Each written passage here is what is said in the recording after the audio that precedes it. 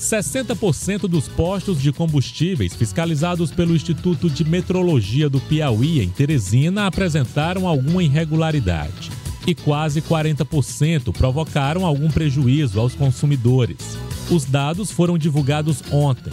Dos 51 estabelecimentos fiscalizados, 19 estavam entregando menos combustível que o valor pago pelos clientes. A fiscalização foi realizada entre os dias 25 de fevereiro e 7 de abril. E olha só esse vídeo. É o momento exato em que o idoso é atropelado na Avenida Duque de Caxias, zona norte de Teresina. Na imagem de câmera de vigilância é possível ver que um veículo bate na vítima e arrasta sobre o capô. Segundo informações de testemunhas, o condutor do veículo fugiu sem prestar socorro, mas foi localizado e preso em flagrante. Mesmo após a chegada do serviço de atendimento móvel de urgência, o idoso não resistiu e morreu.